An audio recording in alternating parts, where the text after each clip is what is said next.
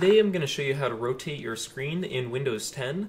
Uh, some people might accidentally get their screen stuck this way and not want it, or other people um, would want it for like if they want to put their screen sideways, or if they might want to flip their screen upside down just because it works better for their environment.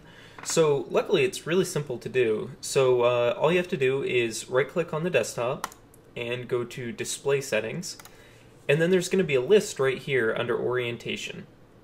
Now, landscape is your general, like, just normal format, but then it has three other options here. So, portrait, it'll rotate the screen clockwise, and uh, it'll be like the long way on your screen. Landscape will put your screen upside down, and portrait flipped would be if you rotated it uh, 90 degrees counterclockwise. So, you can select any of these uh, that you need, and then afterwards you just hit apply. So once I hit apply, it'll ask you if you want to keep those settings.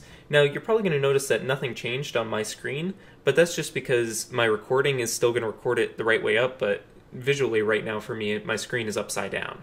So uh, if you want, if it's correct, then just hit keep changes, and then it'll keep the screen in that rotation.